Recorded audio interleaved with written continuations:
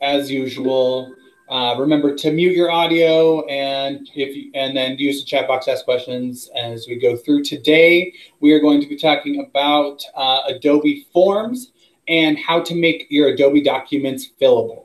So um, I already click record. I'm, I'm like ahead of the game already. So like living my best life. Um, remember our professional development norms as we go through today. Be committed, be responsible, respectful, and safe. Take care of your needs, ask questions. Um, make sure you get all the things taken care of that you need to. So um, you can mute your camera, blur your background, whatever you need to feel comfortable. Like I said, if you have a question, you can jump in or you can stay on and, and smile at me. That's okay too. Um, this fits into our MTSS framework and the um, helping kind of do all sorts of things. We, we talk about this a lot in gathering data, um, data from our students, but then also in the instructional side, we'll do an example for both of those today. So you're gonna learn about Adobe Forms, how to make your uh, PDFs Adobe and all of that stuff. So I'm gonna live mostly in Adobe today um, so that you can kind of see.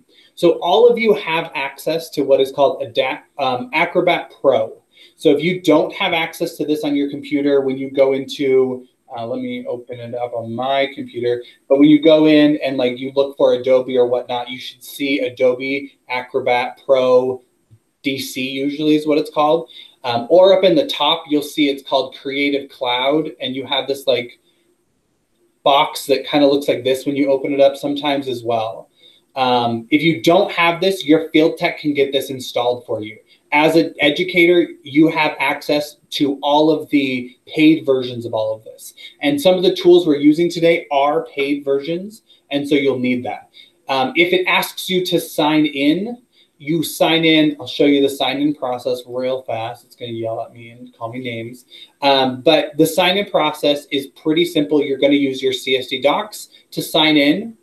Um, so you click here, continue with Google and then it's going to ask you if you are signing in. Um, there's my CSD docs. I click on that. And then it asks if this is personal or a company or school account. We're going to say it's a school account. And then that will be all I need to do. And I'm signed into the Creative Cloud. And then I can choose to download the Adobe uh, Acrobat DC. So you'll see that as an option in the apps there. So if you do need help with that, remember check with your field tech, put in a ticket, footprints, and they can get you um, installed with Acrobat DC. Okay, so then uh, once you're all in there, we are going to kind of talk through some of these pieces. Um, let me pull this up and get that. Okay, so I'm just gonna hide this one now and my stuff should be here. Perfect. Okay, so we're gonna just open up my Adobe. Um, so this can work with any document. Are you able to see my Acrobat Adobe, Chelsea, you can just kind of give me a thumbs up or a whatnot. You can see this page here. Okay, perfect. Thank you. Just want to make sure y'all can see the right one. So uh, when you come in here, you can do multiple different things um, and you can open up your own documents. I'm going to open up a document in here. Um, they're all slowly scanning in, but I'm going to open up a document that you might use typically. So this is a, um, a, like a teacher information piece. So sometimes we're gathering information from our students and we want to know, you know, oh, hey, what's what's your birthday? I, I did these a lot at the beginning of the school year, right? Where we ask them, hey, what's your birthday? Do you ride home on the bus? All of that stuff. And um, so this is something that you can fill out and have your teachers fill out, um, your parents fill out virtually. And I'll show you how to do that. So the first thing we're going to do is find our document you can either create it brand new or you can bring it in, open it already. So I'm going to just go file and I'm going to open um, a document. And let's see, it is in my computer, in my downloads. We get to get a site into my life here of all the things that live in my downloads folder. Um, oh, we're going to do that one here in just a second. So I'll open that up. So we'll start here with this fillable one. So say, for example, you have your students, you're going to assign them in a document um, that you want them to fill out. This is from the elementary science curriculum. These are the claim, evidence, and reasoning um, scoring rubric. And you can see right now as a student, if I were to open this up, I can type in it because I'm using Adobe, but if students were typing in this, they would not be able to. Um, so we want to be able to make them have those check boxes up here so they can check in it and all of those things. So that's the first thing we're going to do. And Adobe is pretty cool because it does a lot of this for you. So um, it's pretty smart in the sense that it just kind of knows what you're looking for and will put them in. There's a lot of different types of, of fillable fields that you can have. So in some of these, you'll see here, we have the checkbox that we can add. You can add just regular text here. I've also added regular text boxes over here this one right here. So you can add those ones. There's a lot of different other ones. We're going to kind of focus mo mostly on those ones uh, today. So this is the one I've already filled out. Let me grab the one that I haven't because that's probably easiest if you fill out one that is not filled out. This is the fun thing that happens when you update your Adobe during your PD, which is what I just did by clicking that button. So that was fun and exciting. Um, so here's the document. I'm going to open this up now. Okay, so here's my non-fillable one. Don't save that and open my other one. Just thinking about it. Okay, so this um, is one of those that, like I said, you can have your parents fill out, all of those types of things. This one we're doing is for students so students can fill it out. So when you open the document on the right hand or left hand side, you'll see I have these two arrow lines. Yours might be hidden somewhere. So sometimes it's on the left over here and sometimes it's on the right. And you can see when I do that, it opens up all of these tools. When I get to this tool, I'm going to be looking for um, the, the um, form tool. And you can see it's right here. It's called prepare form. So I'm going to click this button and it's going to say, are you sure this is the document you want to fill? I'm going to say, of course it is. How dare you? And it's going to bring me into this and give me these editing options. So now I have all of these options up here that I can then insert in here. Okay, so if I wanted text box right here where self-score is, I just grab a text box now, drag it down to self-score, and fill it in that box. I can even name the box. Um, this is good for if they have accessibility readers or things like that. I can be like, this is your claim score. Um, and that way it just kind of names what that document is or what that box is. So now you can see I've got that there. So I just have to do this for all of my, uh, the spots I want students to fill in. Now I don't want them to fill in the teacher score because I'm gonna do that with them or for them or something. So I'm just filling out this the student side. So I'm making these ones. Now in this down here, I want to add a checkbox. I want them to fill this out, and then I want them to check that they checked it with a neighbor. So I'm going to have them do a peer review. So the neighbor is to have to fill out a checkbox somewhere. So what I can do up here at the top, you can see I have a checkbox button. I just click that, and then I can put a checkbox wherever I want and say I can see check when um, completes. And so now I've entered in a checkbox. And you can see for us, it doesn't look right. But for the students, I can preview what this is going to look like. And you can see now when I go here, I can type in here. I can type in there. I can't type in this one because I didn't do anything there yet, right? And I also have a checkbox. So that's the basic, basic of just adding things in there. We've added that. But if you noticed, when I typed in the boxes up here, it went really long and I won't let me see the whole thing, right? So there's a bunch of edit settings in each one of these that allow you to actually change what it does. So to do that, we're going to go to properties and this is going to give us tons of information. And it can be a little bit of an overload because there's tons of things we can do with this. Don't be too overwhelmed by it. There's not a lot you have to click on here, and there's nothing really you can break as you go through here, but there's a lot of options. What we're going to want to do is we're going to want to go into these the options here and allow for multi-line. That way it'll bring the text back down. That's always a good spot for you if you're having lots and lots of text written in there. Have that multi-line will let it kind of fill in this the width there. You can do a lot of other things here. Um, one thing I've seen people do is um, they actually validate and say um, this field has to have this number in it. So almost to correct it type of a thing. So when it is this and this, they can, you know, they get a check mark or whatever. That's an advanced thing. You don't have to do that. Don't worry about that. Um, there's also some different options here. You can you know center it. You can right align the text, left align the text. Another great thing I've seen teachers do is they pre-fill the box for the students. So they say, um, click here and type. So when you have students who, you know, it can be in green flashing letters, click this button, click this button, and they still don't quite see it, this allows them to have a pre-filled text. And I'll show you what that looks like when I, um, delete it first. And then I'm going to go in, do my properties now that it's clear. It will put it in there. Let's do a new one. So you can see it easier that I haven't written all in. So I just draw my box just like usual, um, get my properties, and I can fill in and say, um, click here. Multi-line, I'm choosing my multi-line.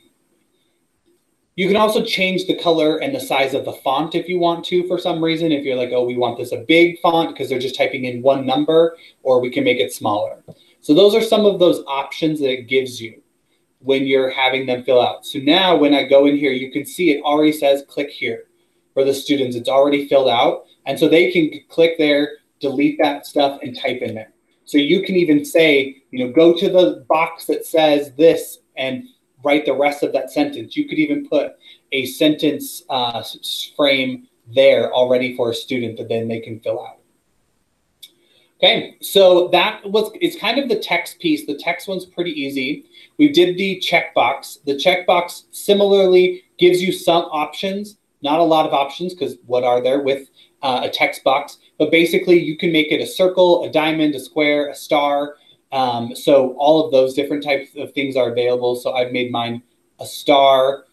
You can do different types of things. Like go ahead and star your the one you think is the best, and then they can go through here and choose the one that they think is the best.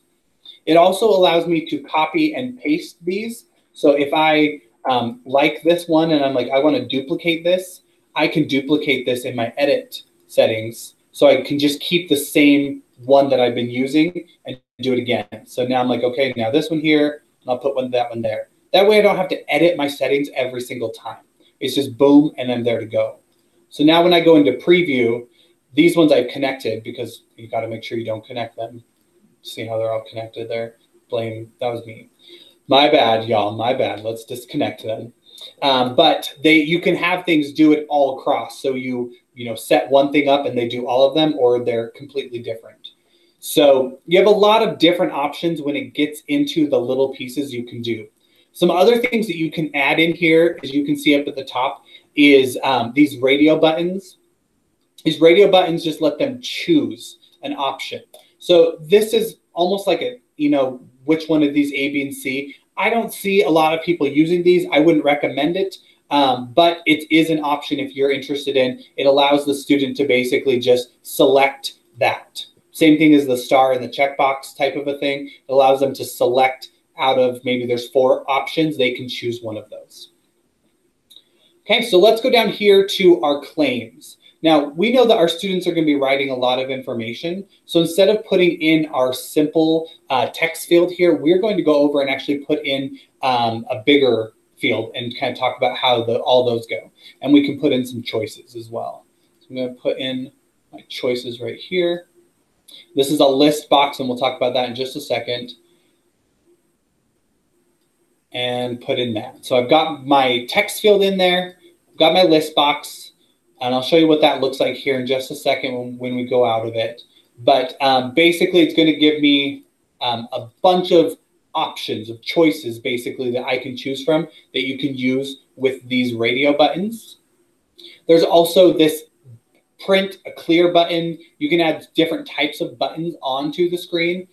For most of our students, we're not using these buttons. Um, we're not using a you know print button, click here to print, those types of things.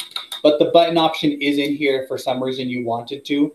And then you would create an action that when they click on it, they it does something. So it opens a file, it makes a sound, it prints it, those types of things. So it submits the form when they actually click on that. So now that I've added that, if they click on this button, it will go ahead and submit the form for them. So there's a lot of different options you can choose with that button one here.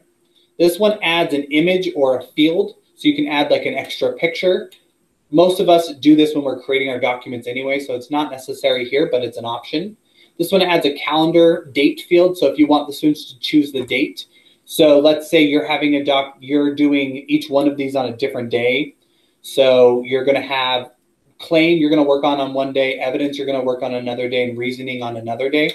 You can go ahead and set that up so that when students go in, they can click and choose what day they worked on this. I worked on this on the 16th. What day did I work on this? Oh, this one I did on the 20th. Or estimated dates of that they're going to go ahead and do. Then there's the signature line. This is the digital signature. This is helpful when you're doing parent documents and parents information. It will give an option for them to actually sign the document there, which is super nice. So now when I go in, it gives me an option to click in here and actually sign this document that I am the one who did this and saw this and signed it and all those things. It would put my name on there and all of that. So that's kind of an, a look at all of the buttons at the top. And we're going to talk a little bit about how it all works down here on the right-hand side. So you'll notice I've got all the things I, I put in this document from these up here. Everything's over here. So it kind of gives you a way of looking at all of the things that you did to this document at once. So you're like, oh, where was that, the, you know, my check mark? Well, oh, it's right here. I can see that my check marks are here and I can go in and delete them over here if for some reason I can't find them up here.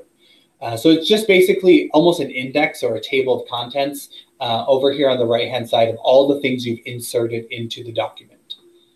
When you're done with it and you're like, hey, this is great and beautiful, I love it. I've got my checkbox, I've got my, my typable text, I've got my signature field and my button, everything's good. The best part about this, all you have to do is click close. And now it's ready for students. So now I can file and save this. Um, I obviously typed in it all these times. So now I can just send this PDF in Canvas, email it out to my parents, my students, and when they open it up in their browser, when they either download it, they don't have to have the paid version. It will be able to fill in any of these boxes for them. So then they're good to go. They can type in whatever it is. So let's say you're doing a student information sheet and you're saying, you know, oh, hey, what you know fill out i want to know what your name is and, and where you're from and all of these types of things they can actually fill that out ahead of time. So thinking about this looking at students doing this um, at the beginning of the year and sending this home with parents right and being like oh, okay will you fill this out for me and bring it back uh, the next day? Now you can email it to them and they can fill it out instead of they have to print it and then send it back to you. This allows them just to fill it out and send it back to you, any document and send it back to you, sign it, put information in. So it really helps you in communicating with your parents to be able to have a little bit closer connection because a lot of parents they maybe they don't have a printer. Like um, that's one thing when we went home in march during the pandemic i realized uh, my kids teachers were like Phil, print this out and do this worksheet. And i was like we don't have a printer at home. Like that was a weird moment for me. I was like we need to buy a printer um, so those are things that some of our families might have as well, where they don't have those options. And so this gives them um, that tool. So for example, if you are doing a some sort of student information document, right? So like this one here, where you want parents to be able to fill this out, that you could do the same thing. Go in here and, and say, prepare my form, and then it will do it for you. Now, let's talk about the doing it for you part, because this is probably my favorite thing. I could go in and create every one of those as a as like a line, but it's a lot of work. There's a lot of fields here. I've already made this. Um, I'm good to go. I want it to do it for me. So when you click prepare form, there's a little button under here that says form field auto detection is, and I'm going to change it to on. So it opens up this piece and I'm going to say automatically detect form fields. So what that's going to do is when I click start, it is going to find all of them and do it for me. I didn't have to do anything. So it already labeled it and said last name because over here it said last name. So now I've made sure everything is good. I can go through and be like, oh, this one, it did it wrong because it said id gets home. It somehow didn't see how child gets home, right? So I can go in and edit that name and say, you know, how child gets home. Boom, I'm good and I could go through and update any of those. If I wanted to add uh, a check mark you know, check mark which number I should call first. Which should I call mom first? Should I call dad first?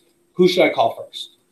You know, check mark that. So I can do all of that. And now when I go in, you'll see everything is, is text writable. They can fill it all in for me, save it. They can do the check mark, and then I'm good to go. Even it even did down here, it did all of these. So that's what the auto does for me. You can see I got teachers pay teachers right there. So that's what the auto does for you. So it automatically fills out these forms and um, all the boxes for you. So if I were to do the, the sentence frames one, the sentence stems, we see our, um, let's do that one auto and I'll show you what it is. So right now we're not in auto. Notice there's no way I can type in this. I'm gonna click prepare form. Auto detection is on. I click start and you can see it did it for me. Now it does it what with whatever it thinks is right. So it made a box here that says, oh, I think you want to write something here. I don't. I can just delete that. It want you want to write something here. No, I don't but it thinks you did because I left a line there. So it thinks I want to write something on top of these pictures. I don't. So I can just delete what I don't want and leave the ones that I do want. And it's an easier way than you having to go through and build each one if you don't want to. So now they're already done for me. I just have to now save this and send it to my students. I can send it to them on Canvas. Uh, I can, you know, put on my in an email and send it to parents or whatnot. So that's kind of the process for filling out the form. There's the manual way and there is the um, the automatic way. Both of them have their pluses and minuses. As we saw with the student information card, it does did almost everything perfectly for us. We're good. But with the sentence uh, stem one, it's kind of sketchy, made us do a little bit more work. So you decide kind of what you think is best for you. Do you guys have any questions? Um, any anything as we go on? Any Adobe questions either? Like um, you can also edit. So like, let's say I didn't like the, the title of this, like it was misspelled. I could go in and just edit the text um, automatically in here without having to redo my PDF or whatnot. Um, all of those options and tools are in here. And there's some pretty cool tools as you go through. So um, you can kind of play with. But if you don't have questions, you're welcome. We're about, well, we got five minutes left, which is perfect. Hope you enjoy the rest of your day. Um, if you do have questions or need support, this video and uh, the presentation will be on the Canyons U page. And that's the last thing I just wanted to share with you. Let me find it wherever it went. Oh, right there. So um, there is all of these things are on the Canyons U page.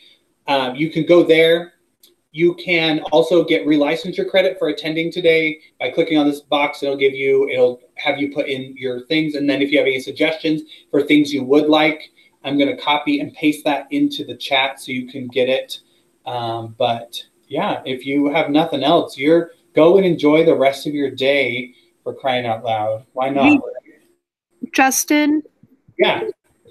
So, um, you said to if we don't have Adobe, we should contact our field tech, right? Not our yeah. ed tech. Yeah, okay. your field tech will be the person because they have to install the program first and then you can sign in. And if you feel like if you're feeling really confident and you're like, ooh, I'm ready to totally do something, you know, bomb today, you can do it yourself. Oh, um, okay. If you want to. So if you just Google search the Adobe Cloud, uh-huh. Creative Cloud and just download the Creative Cloud suite. Do I have rights to do that? Because a lot of times you get an error message that you says. You should have the rights if you've been set up as an administrator on your computer. So it just depends. Some, okay. Some field techs do things differently, but you can try by just downloading the Creative Cloud and then signing in how I showed you at the beginning with your CSD docs. Yep. And yep. you're good to go. Okay. Thanks. But it's not uh, a message to your field tech will be perfect. Okay.